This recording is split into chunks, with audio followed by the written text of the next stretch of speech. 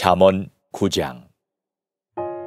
지혜가 그의 집을 짓고 일곱 기둥을 다듬고 짐승을 잡으며 포도주를 혼합하여 상을 갖추고 자기의 여종을 보내어 성중 높은 곳에서 불러 이르기를 어리석은 자는 이리로 돌이키라.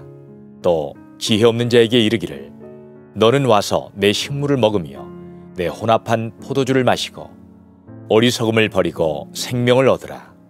명철의 길을 행하라 하느니라 거만한 자를 징계하는 자는 도리어 능욕을 받고 악인을 책망하는 자는 도리어 흠이 잡히느니라. 거만한 자를 책망하지 말라. 그가 너를 미워할까 두려우니라.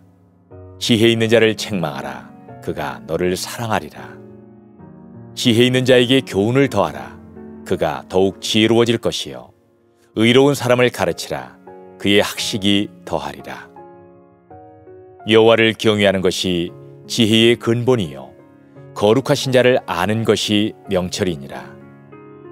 나 지혜로 말미암아 네 날이 많아질 것이요. 네 생명의 해가 내게 더하리라. 네가 만일 지혜로우면 그 지혜가 내게 유익할 것이나 네가 만일 거만하면 너 홀로 해를 당하리라.